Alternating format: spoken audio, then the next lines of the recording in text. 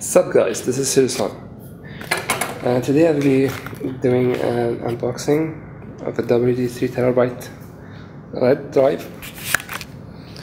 Now uh, this might not be particularly a interesting one. However, I have something to show in a bit.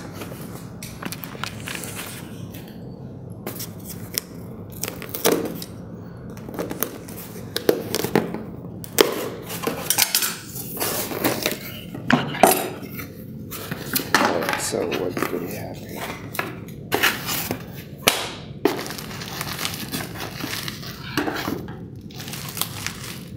Nothing else?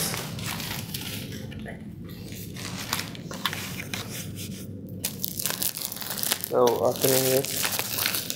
Just give me a second guys. Huzzah, so I had it open. You can see this is the 3 terabyte hard disk from WD comes back back to the anti-static bag. So to the installation.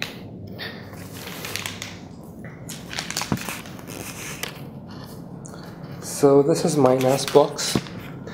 I've assembled this yesterday and uh, currently it um, it has um, seven hard disks populated in it. Seven hard disks are um, connected to the hardware RAID card. Actually, I don't know if you can see it from here. Yes, this this is it. And there are two cables in it. Uh, the SAS cable, SAS um, 8087 to four SATA cables. So I can connect a maximum of eight hard disks in it. Uh, so currently I have only seven. Um, I have this converter here that uh, changes three 5.25 inches uh, base into four 3.5 inches discs. So I can have a maximum of four in here. And down me see if I can see. I can populate up to six drives down here. So that's a total of 10 however I'll only be needing eight. So um, I've let I left the top one empty. So as you can see there's already one inside. Yeah there it is. So each of them has one down so I'll be installing this one right now.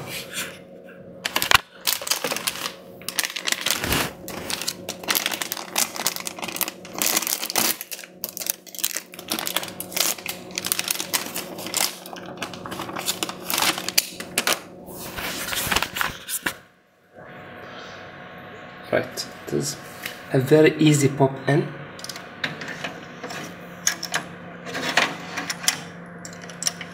and notice now the green light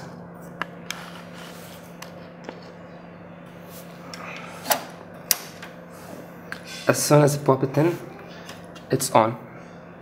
Now all I have to do is just manage it from the um, from the RAID manager the LSI manager.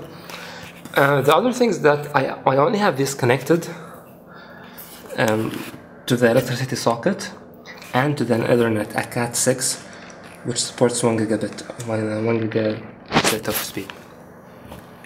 So I connected this remotely from my main PC, and there you go. I have 24 terabytes in RAID 6 with a total of uh, 18 terabytes now. Thank you for watching. If you like this, subscribe, comment, and like. Thank you.